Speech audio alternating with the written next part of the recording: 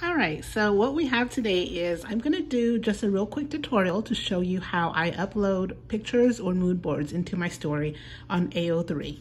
Um, so um, I did a fake story here, just like a test fic. So I'm gonna use this um, as my example. So let's say you already have your story, it's already all loaded, you know, you have your words and stuff, your chapter. So now you want to um, insert a mood board or a picture. So it's really easy to do. The first thing you're gonna do is you are going to make sure that you upload your picture to what I call a host website. Um, that could be Tumblr, that could be Discord. There's a couple of other places that you do. I like to use Discord because I already have an account there and it's so easy to use. So um, let's go there and I'll show you. So this is my Discord. So I already have the um, account here. And so let's just go ahead. I already uploaded the picture there. So let's pretend that I want to choose this one.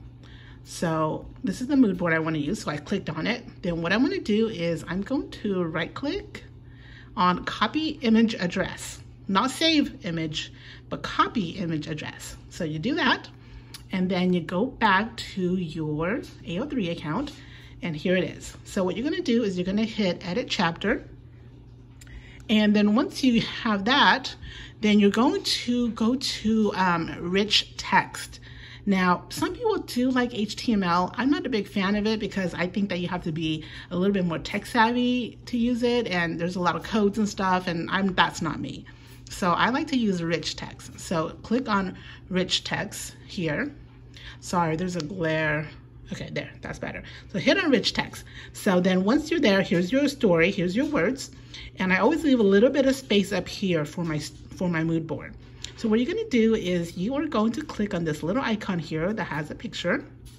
Click on that, and then that'll bring up this box. And then what you're gonna do is that um, when you copy the image address from earlier from Discord, you're going to go ahead and paste it. So do that, and that'll bring up all these numbers. Just leave it alone, whatever they give you, and hit save. So there you go, ta-da! Um, there is your mood board and there is your story. So go ahead and we can preview that. And let's see here. I'm going to go and just hit update. And this is what it would look like on AO3. Here's my mood board and there's my story and you know obviously you can always center have this but that's a different tutorial. But for now this is what it would look like um, when you go to AO3